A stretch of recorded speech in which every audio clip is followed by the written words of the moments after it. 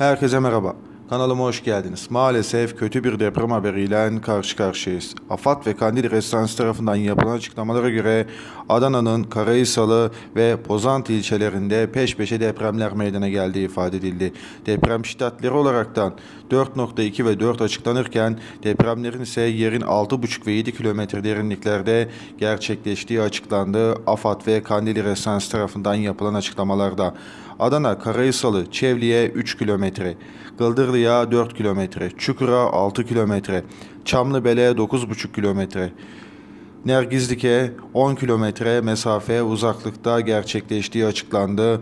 AFAD ve Kandili Restansı tarafından meydana gelen depremle alakalı yapılan açıklamada maalesef Adana'da iki defa üst üste deprem meydana geldi.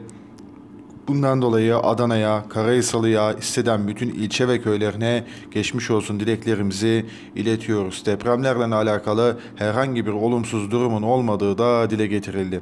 Yorumlar sizin. Sonraki videolarda görüşmek dileğiyle sosyal mesafe, temizlik ve maske kurallarına depremlerle alakalı alabileceğimiz önlemlere özen gösterelim. Şimdilik hoşçakalın.